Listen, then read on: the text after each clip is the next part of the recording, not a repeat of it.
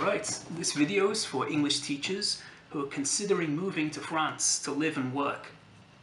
Uh, I'd just like to basically run through a few things like your choice of location, administration, types of contracts, and general culture and life in France. So the first thing I'd like to say is that when I first became a qualified teacher, I was talking to my teacher trainer and I said, oh, I'd really like to go and teach in France. And he just looked at me and said, don't. The market is saturated. It's full of English teachers. You won't really find much work and the cost of living is way too high. It's not why people become English teachers. And I really couldn't disagree more. I think there's lots of work in France. I think a lot of people want to learn English. There's lots of work, especially for business English. I think you won't really have a problem finding work if you consider the location very carefully. For example, I wouldn't go to Paris. There are lots and lots of English teachers in Paris. Lots of people want to go and live there. It's romantic, all the stereotypes. But you might have a hard time finding like work in Paris. So the cost of living is also very high. So it might be a great experience for one year, but rarely not more. I also wouldn't go to another big city like Marseille I think the place is a little bit sketchy. Once you get off the train in the station, you'll see soldiers walking around with guns, really on edge. Like you'll always see burnt out cars in the streets. Maybe there's nice areas to Marseille, but uh, it's not somewhere I would like to, to live and work. I would say I've had very positive experiences seeing places like Lyon. This is a big-ish city and it has all the good things about France, all the museums, the arts, the food. It's got all the positive things, but it's uh, it's a nice size, I think. Also, I've had great fun working in Grenoble. This was mainly business English in the French Alps.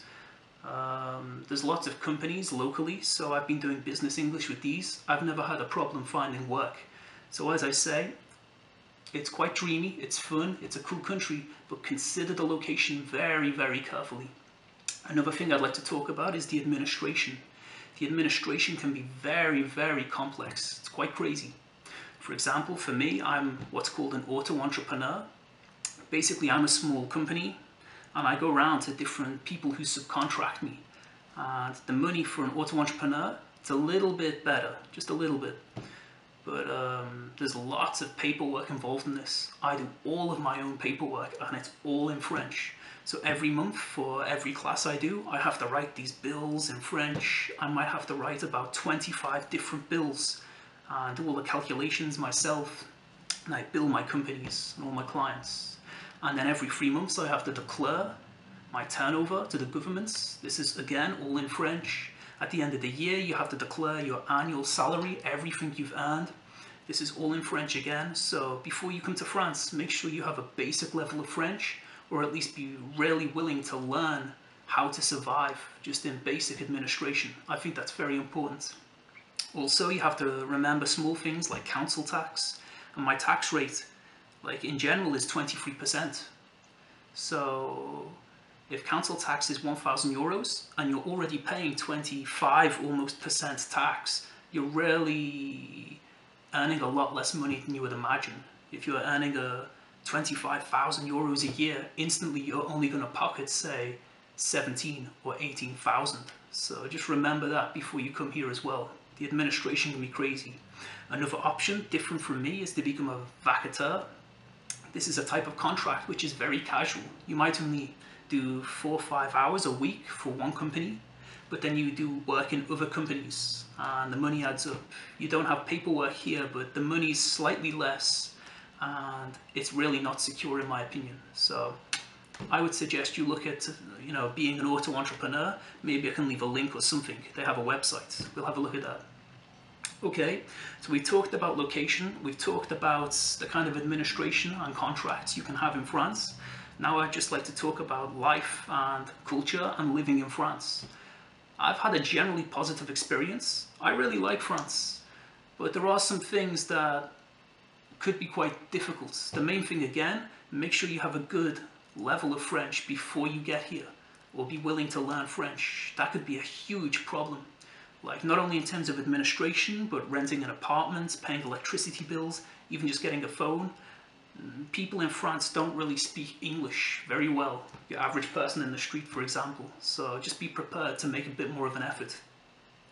Also, I think other positive things. In Grenoble, we have mountains, there's lots of hiking. I think France is a lot more orientated towards the outdoors and nature. That's another good thing. People are generally healthier. Like the active lifestyles are really promoted. These are all things that I love. That's great. Things that I don't like about France or negative experiences I've had. I think French people have a reputation for being a little bit arrogant.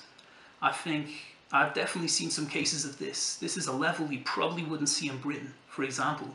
Like in the post office, people just cut in queues, in supermarkets, old people rarely just push in front, they think they have the priority. That can be a bit annoying, but I've kind of learned to just deal with it and accept it. But I really think you have to accommodate France. France won't change for you. You have to really make an effort to fit in and just let it fall, just let it pass. But yeah, a lot of people can be very direct to you in a way maybe you're not used to in your home country. Food. I like the cheese in France. This has a worldwide reputation, but in general, I was a little bit disappointed with the food. The reputation of French food is just fantastic. It's the best in the world. It's incredible. And I admit it's tasty. It tastes very fresh and clean. But that's about it. It's like, uh, it's good quality. It's healthier than British food, certainly but the reputation is so big and they take so much pride in this. I really did expect a little bit more from this. Yeah, just one more thing to note about food is that I think it can be really expensive, especially if you eat out, like in a brasserie or a restaurant. For example, the first place I can think of, I know a place down the road, this is like a very basic food. Like uh, this is actually a place where you can get like typical French food, but also burgers this is what they specialize in. This is not normal in France. People don't normally eat burgers. But this is the cheapest place I know to eat out. This is 10 euros for a burger. This is like a small kind of restaurant type of place, a brasserie. It's 10 euros for a burger. That's before you add anything on, like uh, dessert, coffee, anything else like beer.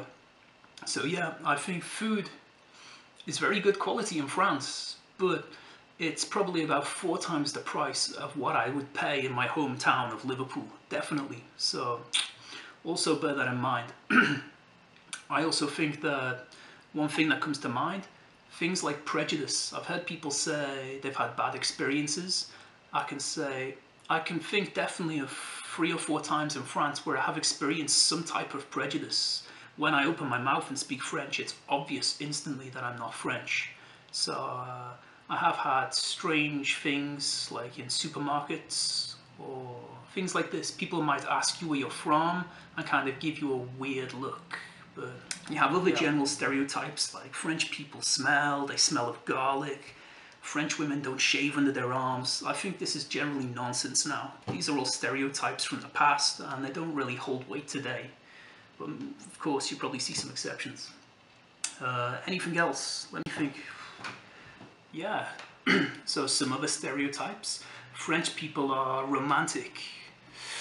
I would say definitely not. I think the guys can be very vulgar sometimes, and I found quite a lot of the women uptight about being around men or like I also find that uh, they have quite big tempers.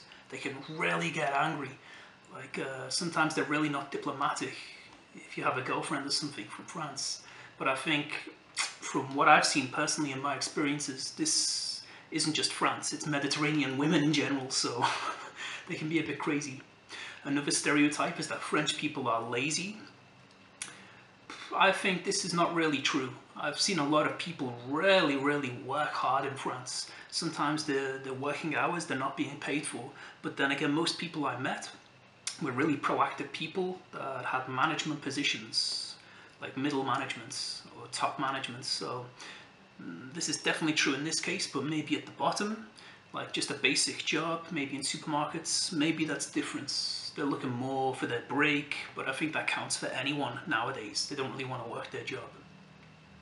Okay, well, that's about it. I think we've talked about location and how it's important to consider your options carefully. We've talked about administration, types of contracts. Make sure you're prepared to make an effort with French. We've also talked about life in France, prices of food, maybe some prejudice, and uh, general culture of France. I hope that's helpful. Maybe if you're looking for a job, I wish you good luck and take care. Thank you.